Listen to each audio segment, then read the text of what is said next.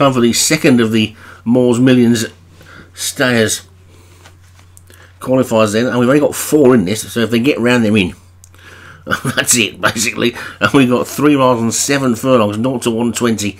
Nina Zenik, Padraig Hogan, Pulsatilla, Alex Cherry, Lord Cal, Padraig Hogan, and Diamonds Obi-Wan. I suppose I can see the thinking behind this 0 to 120 Grand National Week. You might get a few people think I'll go in the Moores Millions. They're calling it away rather than run from out of the handicap in the National. But we only had 20 runners in the National, so um, it's a bit of a race too far this week. I think in normal seasons we get a few more trainers in, it'd probably be a good idea. But this year it's going to suffer, I think, on the lack of horses. But these four, if they get round, they'll be in the final next week. But, well, not next week, the week after. But the finals are 3 5 and 4 4, I think. Mistake there by Nina Zenik at the back. And this is race number 3 7. So, probably too short for one and too far for the other. So, whether they want to be in the final or not, I don't know anyway. So, anyway, we'll see. And it's a winner for one of these three trainers, regardless. So, and that'll be good because uh, everybody likes to get a winner or two. And they get over the ditch with Pulsatilla in the lead. Lord Cal second, Nina Zenik, and Diamonds at the back. So let's hope they all get round and everybody gets their chance to enter the final in a couple of weeks if they want to.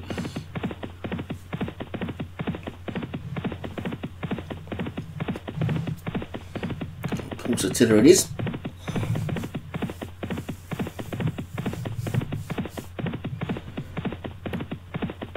From Lord Callan Nina Zenik. Over it. These Moores Millions races I remember when SO6 when I first started commentating regularly at 20 odd runners a week.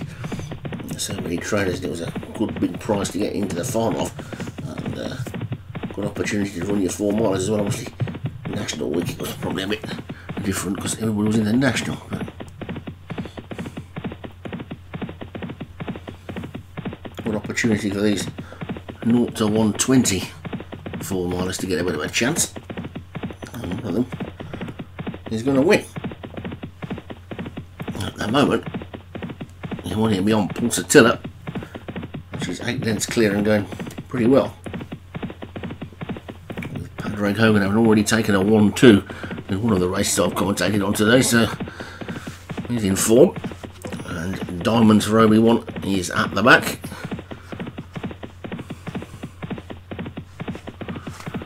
Obi-Wan, just about the only man who knows his champion trainer before the season starts. He takes the American jumping title every single season. And they get over the next. A bit like the way I always used to win the commentator's trophy when I was battling against Doug and Stu. No chance of that now with Leon. And Pulsatilla is the leader. Nina Zenik second and Lord Cal third. Diamonds is back in fourth as they get over this ditch. All safely over it. Pulsatilla is clear, even with four runners we can't keep them all in the screen. That's how well Pulsatilla's going in the lead. Nina Zenik second. Lord Cal is third and Diamonds is back in fourth.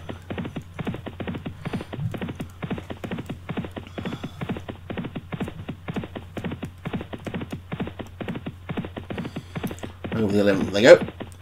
Also for the 11th.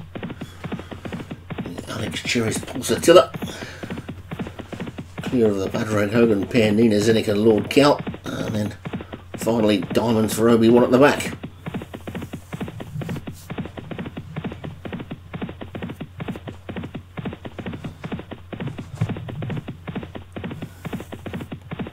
Over the next ditch, and we'll safely over that one. The midway point in the jump in that one I've got 12 more to get over. And I've still got just slightly less than two miles to go. So far, all four of them are still on their feet. heading for a place in the final in two weeks time back at Aintree where we were yesterday for the national the finals are over the Grand National Fences of course early 40th. I don't think any of the qualifiers are ever national fences. That's quite. Interesting. Maybe we should have a Moore's Millions qualifier over the national fences in the first meeting at Aintree in the season when they have the Sefton and whatever the others are called, I can't remember now. But it's Pulsatilla in the lead, Nina Zenik, Lord Cal and Diamonds. So it'd be good to make that cross country race early in the season, the qualifier as well. But anyway, Pulsatilla's in front, oh, Nina Zenik and Lord Cal, and Diamonds is back in fourth as they get over the next. And Pulsatilla was a little bit careful at that one, and Diamonds wasn't. That's the winning post then. Just one more circuit to go. The order has not really changed throughout the entire race, apart from the fact that the Padraig Hogan pair might be swapping places now and again. But the rest of them, it's been Pulsatilla in the lead. The Padraig Hogan pair and then Diamonds. Over the next they go. Oh, Over that one okay. Pulsatilla. leads by three. The Lord Count, Nina Zenik. Diamond's up the inside of that ditch. Diamond looks to be travelling pretty well now. Switches to the outside. a quite interesting final mile here as they get over. That one's a mistake by Lord Cal, and we've finally got a change in the order as Diamonds goes past Lord Cal and it's Pulsatilla who's the leader from Nina Zenik in second then Diamonds is third and Lord Cal is now fourth that's the seven furlong pole they go and what? Plenty of jumps to get over. And Pulsatilla over the 20th in the lead. From Nina Zenik, Lord Cal. And Diamonds. Over the 21st and they all took that really well. There's four more fences left to take then now, and Paul Pulsatilla leading by two. To Nina Zenik in second. Diamonds is cruising in third as they get over the next, and Diamonds jumps up into second. Lord Cal is now the back marker of the four, but it's Pulsatilla now being pushed on by the jockey to kick for home with four furlongs and three fences to take. Pulsatilla opens up again now to five, six length lead. Diamonds is in second, then Nina Zenik and Lord Cal around the outside, but Pulsatilla looks to have got first run on them, and with three and a half furlongs to go, if she keeps this up, she should win pretty comfortably. Pulsatilla is racing down towards the final three fences then with a lead of a good six lengths over the third last, but jumped in very slowly, and a much better jump by Nina Zenik, who's now got going again.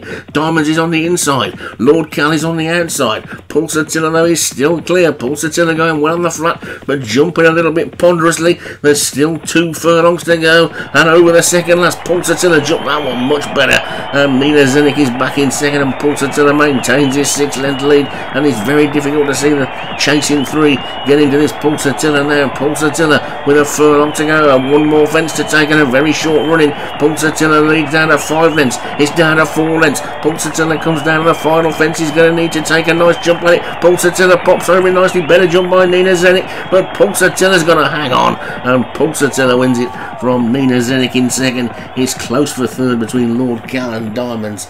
And I think they may have ended up finishing in the order that they ran most of the race. They ran most of the racing with Alex Cherry first and Padraig Hogan second and third and Obi Wan fourth.